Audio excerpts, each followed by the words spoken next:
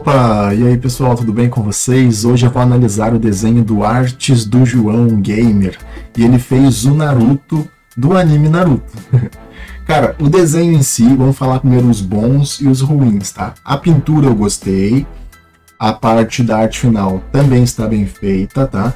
Dá para notar que o Naruto. Acho que, que ele poderia melhorar um pouco na parte da proporção. Acho que tentou botar o olho desse Naruto aqui um pouquinho mais aberto, essa base de cá, e esse um pouquinho mais fechado, como se estivesse assim. Só que não fica um efeito muito legal, não, tá? Esse olho aqui está um pouquinho torto, né?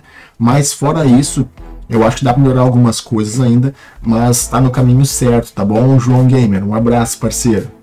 Se você quer ser analisado aqui no canal Diogo Desenha, pessoal, não esquece, tira uma foto, me marca no Instagram como arroba Diogo Desenha, beleza? O link está na descrição desse vídeo. Muito obrigado e até o próximo vídeo.